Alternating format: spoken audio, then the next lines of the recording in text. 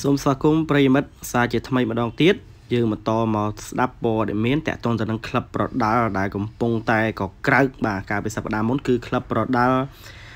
ប៉ែនកគុណខ្មែរដែលយើងហៅកាត់ថា PK PK បាទនៅស្រុកថៃយើងមានមួយដែរគឺក្លឹបប្រដាល់ PK សែនឆៃមួយថៃជីមបាទនៅពេលនៅខ្មែរយើងគឺប៉ែនកគុណខ្មែរដែលមានអក្សរកាត់ថា PK អឺដោយបងប្អូនបានដឹងហើយកាលពីសប្ដាហ៍កន្លងទៅបាទ ធ្វើព្យុះធ្វើភ្លៀងសម្បើមណាស់បាទក្លឹបប៉ែនកាក់គឺអេលីតចម្រើនបានបំបីកំណត់ត្រាបាទបុនសុធាគឺបុនសុធានេះបាទប៉ះខ្មែរមើលរយៈចុងក្រោយអត់ទាន់មានបណ្ណាវាយឈ្នះគាត់ទេបាទហើយបន្ទាប់មកក៏បាទត្រូវបានបញ្ចប់នៅវគ្គខ្វែងត្រឹមអេលីតចម្រើននេះតែម្ដងបាទនៅក្នុងវីដេអូមួយនេះខ្ញុំបាទចង់ចែករំលែកក៏ដូចជាផ្ដល់ជាព័ត៌មានជូនទៅកាន់បងប្អូនតាក់ទងទៅនឹងបាទសិស្សរួមគ្រូក៏ដូចជាសិស្សដែលហាត់ជាមួយលេខចម្រើនគឺអេលីតភក្តី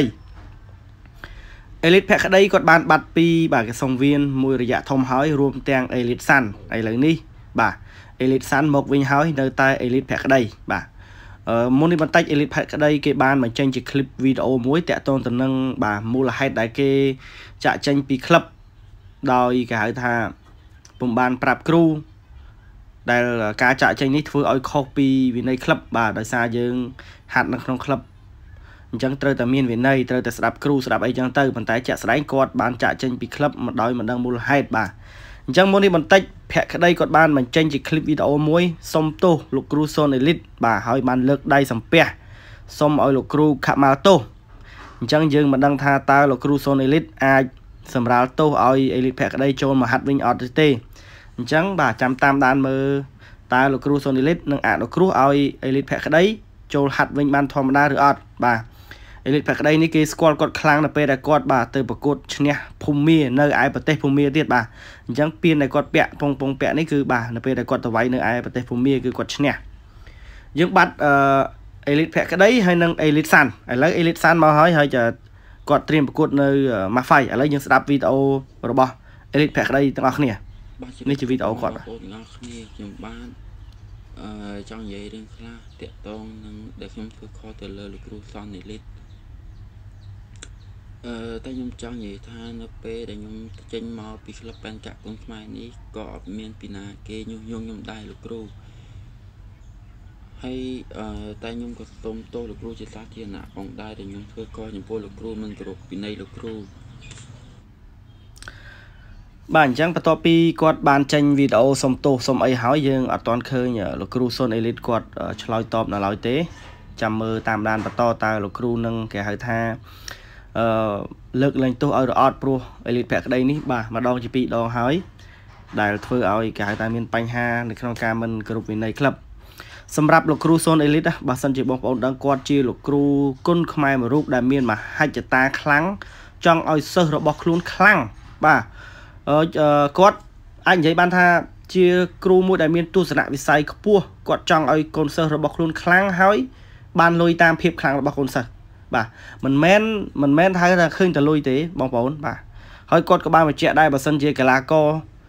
ក៏ដូចជាកូនសិស្សរបស់គាត់បើមិនបានវឹកហាត់ដដល់ក៏គាត់មិនចាប់ឈ្មោះឲ្យវាយដែរបាទក៏គាត់មិនចាប់ឈ្មោះឲ្យវាយដែរហើយមួយទៀតទស្សនៈរបស់គាត់គឺគាត់ចង់ឲ្យសិស្សរបស់គាត់ខ្លាំងបានចេញទៅវាយនៅក្រៅប្រទេសបាទហើយគោលការណ៍របស់គាត់នៅក្នុងក្លឹបនោះគឺច្បាស់លាស់ណាស់បងប្អូនបាទ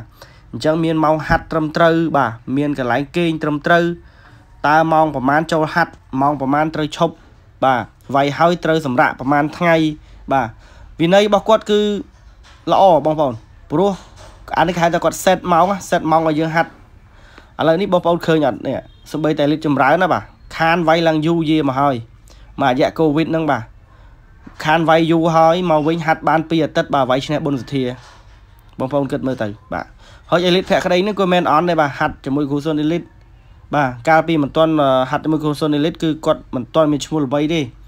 បន្ទាប់ពីគាត់បានចូលក្លឹបគ្រូសុនអេលីតមកគាត់មានឈ្មោះល្បីបានវាយថៃបាទបានចេញទៅវាយនៅភូមា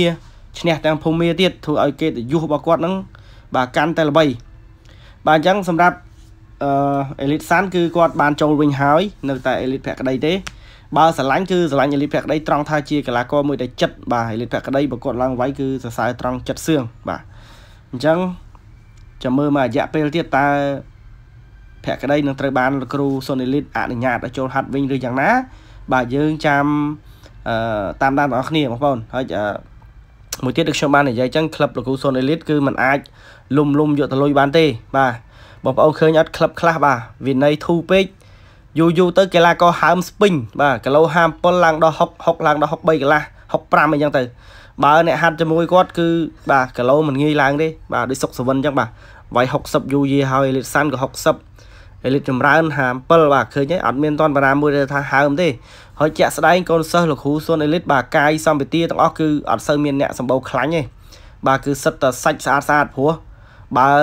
អ្នកដែលហាត់ជាមួយគាត់គឺត្រូវហាត់ឲ្យទៀងទាត់បាទហាត់ឲ្យទៀងទាត់អញ្ចឹងនៅពេលដែលកីឡាករហាត់ទៀងទាត់គឺសាច់អត់ប្រែប្រួលទេបងប្អូនមានតែស្អាតលើសដើមបាទ អញ្ចឹងអត់មានអ្វីទេក្នុងឃ្លីបវីដេអូមួយនេះគ្រាន់តែបាទបង្ហាញឲ្យបងប្អូនដឹងព្រោះបងប្អូនខ្លះគាត់បានសួរថាអេលីតសាន់ទៅណាហើយអេលីតភក្តីទៅណាហើយបាទអញ្ចឹងវីដេអូខ្ញុំបានបញ្ជាក់ហើយអេលីតសាន់មកវិញហើយបាទហើយអេលីតភក្តីគាត់បានចេញជាឃ្លីបវីដេអូហើយសុំទោសបាទលោកគ្រូសុនអេលីតហើយអញ្ចឹងបានន័យថាគាត់ខុសបាទគាត់ទទួលខុសឲ្យតែលោកគ្រូឲ្យចូលវិញគឺគាត់សប្បាយចិត្តណាស់បាទប៉ុន្តែយើងមិនដឹងថា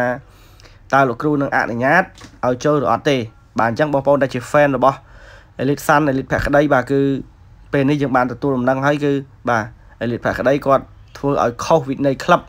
បាទធ្វើឲ្យខុសវិន័យក្លឹបទៅលោកគ្រូ Son Elite បាទមិនអនុញ្ញាតឲ្យគាត់តន់ចូលហាត់បើតាមដឹងបាទភក្តីនេះនៅពេលដែលគាត់ចាក់ចេញពីក្លឹបដូចជាអត់បានប្រាប់ឬក៏ជូនដំណឹងទៅខាងណាទេបាទដូចជាគេហៅថាគាត់មានបញ្ហាអីមួយក្នុងចិត្តឬយ៉ាងម៉េចទេបាទប៉ុន្តែជាក់ស្ដែងយើងមើលទៅលើคลิปវីដេអូដែលគាត់បានបង្ហាញមុននេះបន្តិចបាទគឺគាត់ទទួលកំហុសបាទដែលគាត់ខុស អញ្ចឹងសម្រាប់ admin មួយរូបបាទតែជាអ្នកគ្រប់គ្រងគុណខ្មែរសង្ឃឹមថាគ្រប់យ៉ាងនឹងល្អប្រសើរករណីបើសិនជាលោកគ្រូសូនអេលីតបាទអនុញ្ញាតឲ្យអេលីតភក្តីចូលហាត់វិញហើយសង្ឃឹមថាអេលីតភក្តីនឹងកែបាទប្រឹងហាត់ឲ្យខ្លាំងព្រោះបច្ចុប្បន្នបាទកីឡាករខ្មែរយើងឲ្យតែមានកម្លាំងវាយវាយរាល់អាទិត្យក៏បានដែរព្រោះយើងខ្វះកីឡាករវាយបាទ ជាស្ដែងគីឡូ63កន្លះឥឡូវកំពុងតែមានទីផ្សារបាទទីផ្សារខ្លាំងណាស់ហើយភក្តីនេះវាយបានទាំង63កន្លះវាយបានទាំង60បាទវាយបានទាំងប្រភេទទាំង2គីឡូចឹងអត់មានអីទេបងប្អូនបាទក្នុងវីដេអូមួយនេះខ្ញុំគ្រាន់តែចែកជូនជាដំណឹងឲ្យបានដឹងសម្រាប់អ្នកគ្រប់គ្រងគុណខ្មែរពិសេស fan របស់ Elite ភក្តីព្រោះភក្តីក៏មាន fan មិនតិចដែរបាទភក្តីក៏មាន fan មិនតិចដែរអញ្ចឹងគាត់បានលើកដៃសំពះឲ្យសង្ឃឹមថាបាទនឹងមានដំណោះស្រាយបាទ អញ្ចឹងកុំឲ្យបងប្អូនខ្លះយល់ច្រឡំថាលោកគ្រូសូន Elite បញ្ឈរជើងសិស្សឬក៏ដេញសិស្សចោលបាទយើងមើលវីដេអូនោះដឹងហើយគឺភក្តីគាត់ខុសខ្លួនគាត់ទេបាទគាត់ខុសខ្លួនគាត់ទេអញ្ចឹងអត់មានអីទេបងប្អូនបាទបើសិនជាមានចម្ងល់អ្វីផ្សេងផ្សេងតាក់ទងទៅនឹងបដាលគុណខ្មែរសូម comment នៅខាងក្រោមវីដេអូនេះបាទសូមអរគុណច្រើន